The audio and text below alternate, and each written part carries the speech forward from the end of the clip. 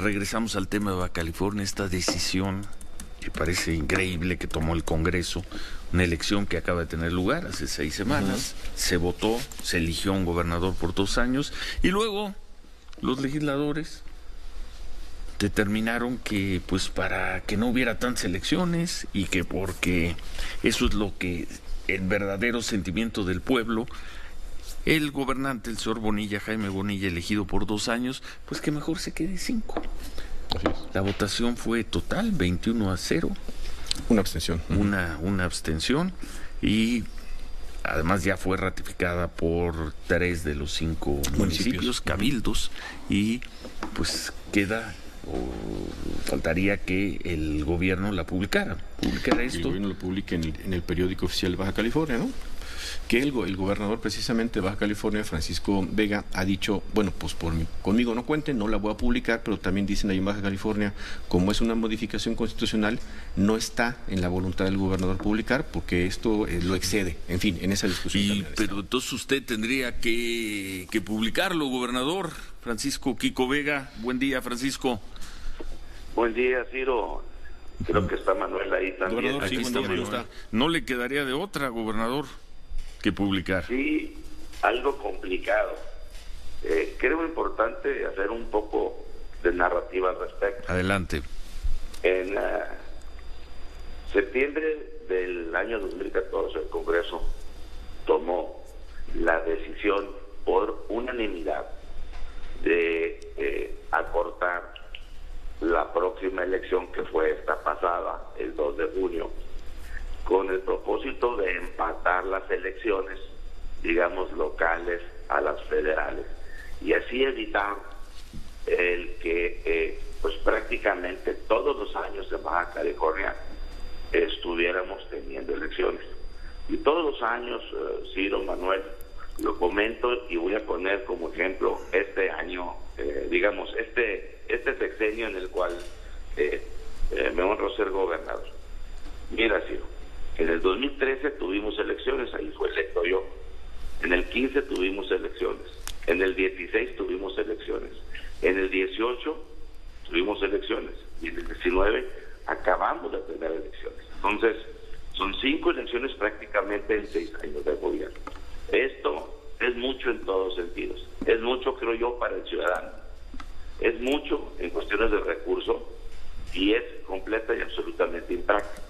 Entonces, Congreso pasado tomó la decisión de que ahora fuéramos a una elección de dos años para empatar las elecciones, digamos, de gobernador intermedias a nivel presidente de la República y eh, de nueva cuenta que se repitieran tres años después del presidente de la República. Esto porque se ha considerado no muy conveniente para el Estado y ese criterio se ha aplicado para otros estados, que las elecciones del gobernador no empaten con las del presidente por el interés propio que la del presidente tiene y la del gobernador tiene, obviamente, para eh, los ciudadanos de los estados. Sí. Todo iba perfectamente bien. En la reforma esta que yo les comento, ahí claro decía que se tenía hasta el día que iniciara el proceso electoral para hacer cualquier cambio. El proceso electoral en Baja California inició en septiembre del año pasado. Entonces, en esencia, ya no había eh, la forma de hacer ninguna reforma a esa, ninguna reforma del, del 2014. Ya, como es del conocimiento público, eh, pues hubo intentos eh, de modificar la reforma para prolongarla primero a cinco años, o sea, dos más tres, Sí. y después a seis años, dos más cuatro. Esos dos intentos fueron rechazados contundentemente por unanimidad por el Tribunal Electoral Federal, porque aquí en el Tribunal Local esa, es- e- e- e- esa solicitud de extensión de plazo sí fue eh, eh, eh, votado favorablemente a través de la mayoría de las autoridades electorales locales.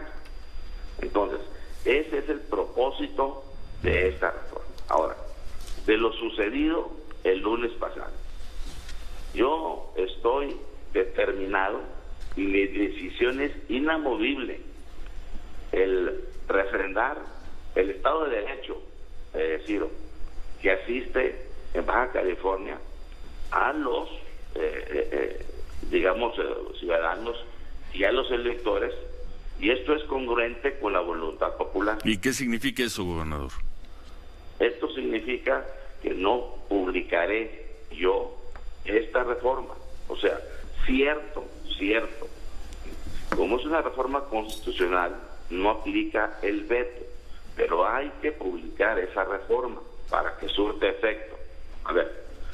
Y usted y su gobierno no lo va a hacer, con lo cual usted va a incurrir en una ilegalidad. Más allá de que usted, ¿qué día se va, Kiko? Mire usted. Noviembre. Mire usted, yo estoy dispuesto a afrontar cualquier acción jurídica. Sí. ¿sí? Yo me voy el 31 de octubre. El 31 de octubre. De, de este año. De este año. Ahora, ¿cuál es el procedimiento, digamos, legal en este sentido?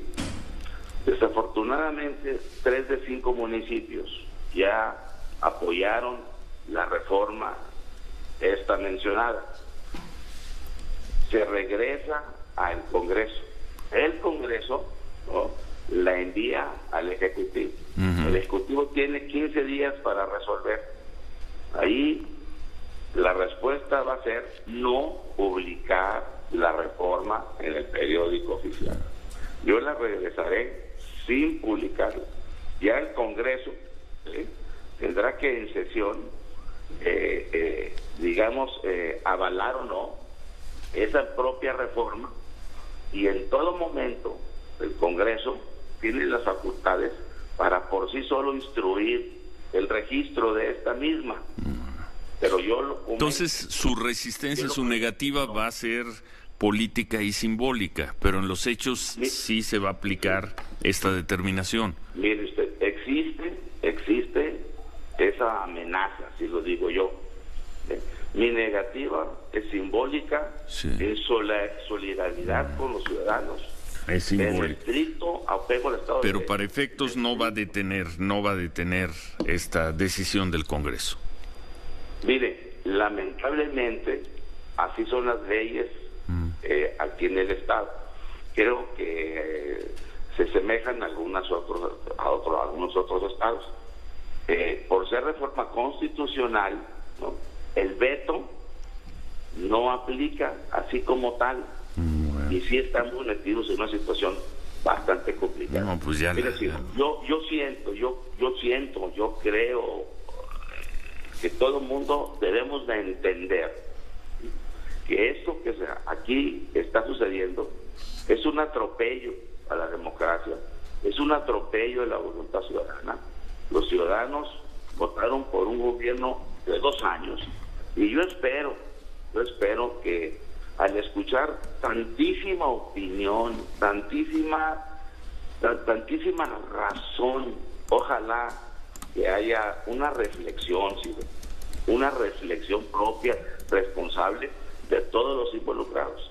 Ahora, aquí nadie puede alegar desconocimiento, ni que haya sido influenciado absolutamente por nadie, menos por mí, porque eh, dirigentes nacionales, en el caso del PAN, a los intentos de hacerlo antes de la elección, porque esto hubo intentos de hacerlo antes de la elección, sino como sabemos. Sí, sí, sí, sí, lo decíamos. Eh, hubo una un posicionamiento claro, preciso y fuerte del dirigente nacional del PAN, en este caso, Marco Cortés, de quien se atreviera a tocar este tema de la manera en que se hizo, iba a ser inmediatamente expulsado. Pues sí, pero no, no, les hicieron caso.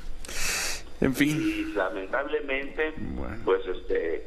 Así quedan las cosas. Que no. Pues ojalá podamos. las cosas no, no, no, no, no, han pasado. No han pasado. Ojalá podamos seguir conversando con usted, porque esto creo que trae todavía mucha cuerda y agradecemos su franqueza, su negativa a publicar esta, este cambio constitucional del Congreso es política y es simbólica, pero no detendrá los hechos. Ojalá podamos mantener la comunicación, gobernador. Muchas gracias.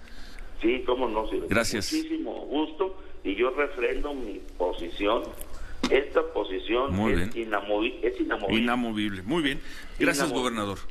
para servir. Gracias, buen día. Que tengan todos muy buen día.